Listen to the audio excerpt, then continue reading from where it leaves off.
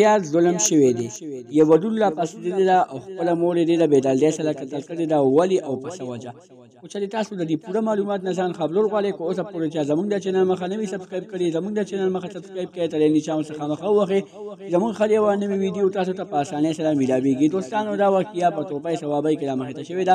چې یو ایمن نومي جنې خپل مور ډیر بې دردۍ سره قتل کړې ده ولې قتل کړې ده خپل مور د یو یال د پاله قتل کړې ده چې د یو الک خو هغه الک سره په موبایل خبرې کولې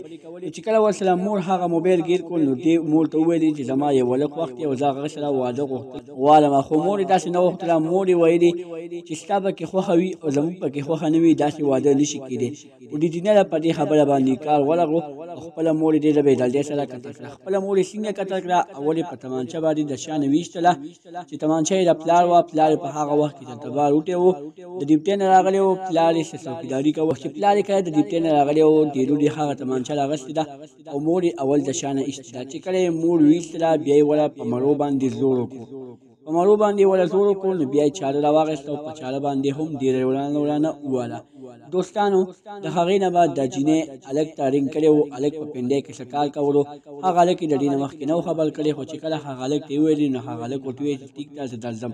چې کله والا هغه هلک په جهانګیره کې میلو شو نو بیا هغه جینۍ او دې هلک یو څو ورځې پټ پاتې شو چې کله پولیسو خپل تفتیش شروع کړو او پولیس دوی ته ورسېدل دوی یې ګرفتار کړل نو دوی ومنله چې او دا قتل مونږه کړی دی په دوستانو ډېرې واقعي رامخې ته شوي دي خو اوسه پورې چاته هم انصاف نه دی ویلو شوی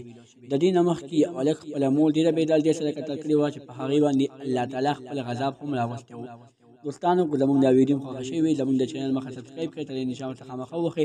زمونږ خر یوه نوې ویډیو تاسو ته په اسانۍ سره درځي